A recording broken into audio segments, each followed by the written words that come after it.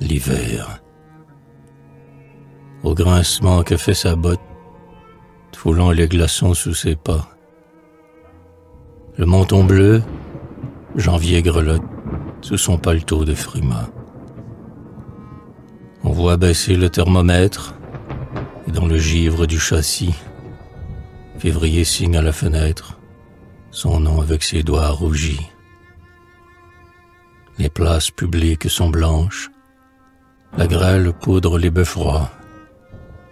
Triste saison des avalanches, des craquements et des grands froids. Entrons au logis. Le vent souffle. Mais sous le blanc toit des maisons, l'hiver, le pied dans sa pantoufle, se réchauffe près des tisons.